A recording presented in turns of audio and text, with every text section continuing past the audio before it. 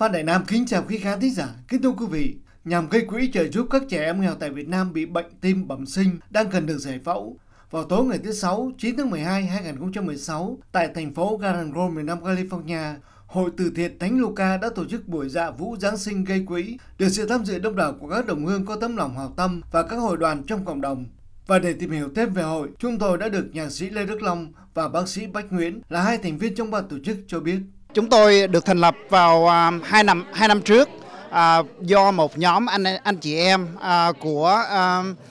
chương trình thăng tiến hôn nhân gia đình và chúng tôi cùng có một ý nguyện là sinh hoạt chung với nhau để đùm bọc và yêu thương và từ đó chúng tôi đã cố gắng và nỗ lực để huy động và phát huy tinh thần yêu thương đó cho đến đồng bào chúng ta và cũng như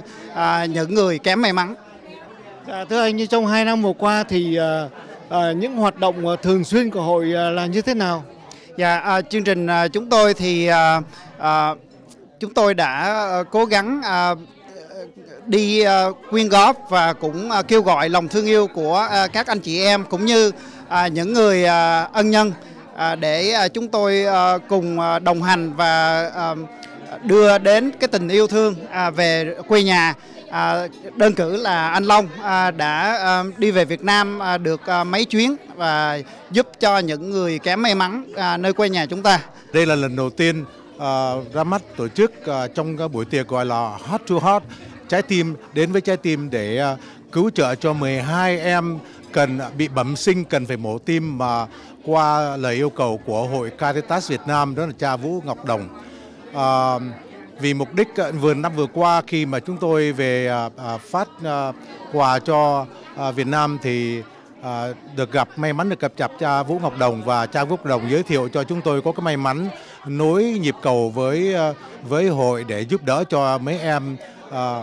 à, bị bẩm sinh. Ờ, mà ở xa ở rất dạ ở xa ở rất xa thành phố mà không có không được uh, ai cứu giúp. Cho nên họ cầu cứu đến Caritas. Caritas vô tình với gặp chúng tôi cho nên vì vậy mà và mà mà San Lucas đây là lần đầu tiên ra mắt để ờ, để để để phân làm làm cái, cái quỹ để giúp cho các em được mổ tim.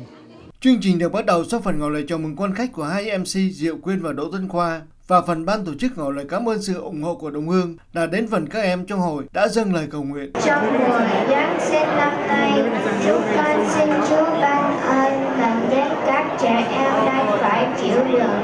vì bệnh tim bẩm sinh tại Việt Nam. Xin cho các bé có được cơ hội sống bình thường như các trẻ em khác. Xin Chúa hài lòng ban nhiều hồng ân cho mọi người hiện diện trong đêm nay cũng như của các em mang Christine ở Việt Nam luôn được Việt Nam. Kính thưa quý khán thính giả, buổi dạ vũ Giáng sinh gây quỹ của Hội từ thiện Thánh Luca sau đó đã được tiếp nối với phần văn nghệ đặc sắc và phần sổ số gây quỹ, cũng như phần cảm ơn quan khách của linh mục linh hướng của hội. Và mọi chi tiết về Hội từ thiện Thánh Luca, quý vị có thể liên lạc qua số điện thoại 714 743 3347 714 743 3347. Và chúng tôi cũng xin chấm dứt phóng sự nơi đây. Xin hẹn quý vị vào những chương trình kế tiếp.